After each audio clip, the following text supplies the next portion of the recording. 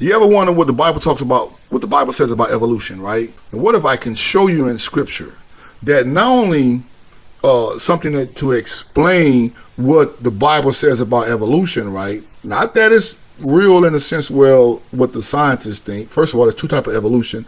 You got evolution where something just evolves naturally, and then you got what's called the theory of evolution that talks about the whole entire creation of the world. But I'm talking about the theory of evolution, where they talk about the Big Bang theory and all this stuff that goes on and how the world was created. What does the Bible say about that? Well, let me just say this.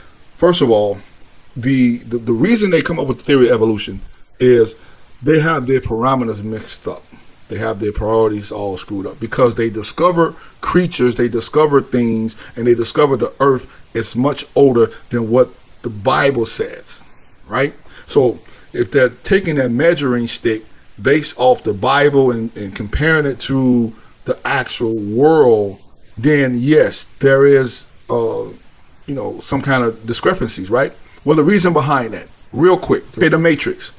What if I can tell you and show you in the scripture that the world that we know now, there was a world that existed prior to that world? An actual world that existed prior to, just how the Matrix has multiple worlds, right?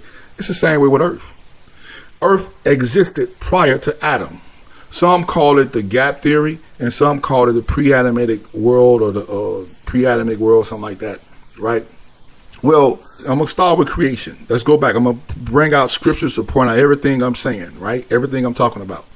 Uh, talk about the creation of the world. Genesis one and nine and nine says that, and God said, "Let the waters under the heaven be gathered unto one place, and let the dry land appear." And it was so, right?